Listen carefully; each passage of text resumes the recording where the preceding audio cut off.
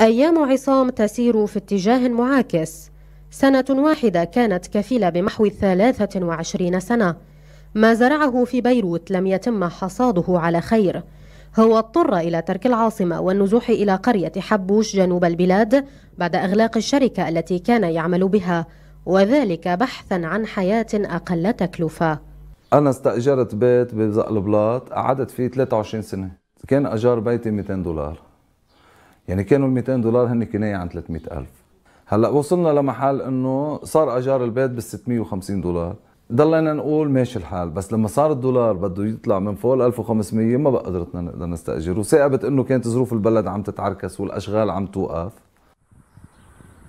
الأزمة الاقتصادية والمعيشية التي تعصف باللبنانيين بدأت تنبت على جانبيها ظواهر جديدة. موجات النزوح العكسي من المدن إلى القرى واحدة منها. فهنا لا تزال أسعار الإيجارات والعقارات أرخص من مثيلاتها في المدن وخاصة في العاصمة. طبعا هي بلشت هلا آه احتمال زيادتها أمر مرتبط بمدى آه توفر فرص عمل بالمستقبل القريب فإذا استمر تراجع فرص العمل وأغلاق المؤسسات في بيروت والمدن الكبرى حكما هيدي رح تصير ظاهرة كبيرة. مثل ما شفنا بالماضي ظاهرة نزوح كبيرة من القرى والأرياف نحو المدن. رح نشهد نفس الشيء هلأ بطريقة عكسية. فنحن هلأ بلشنا بالبداية حجم الظاهرة بتكون كبيرة أو أكبر كتير. هذا بيتحدد بالأشهر القادمة في ضوء تطور الأوضاع الاقتصادية. كثيرون فقدوا مبرر وجودهم في بيروت. فرص العمل تتلاشى. ثمانون ألفا هو الرقم التقريبي لمن فقدوا أعمالهم خلال أشهر معدودات. لكن النزوح العكسي قد لا يكون الحل الأنجع اجتماعيا وفق خبراء.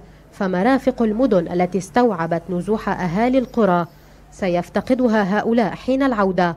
ما ينذر بتفاقم أزمات المعيشة.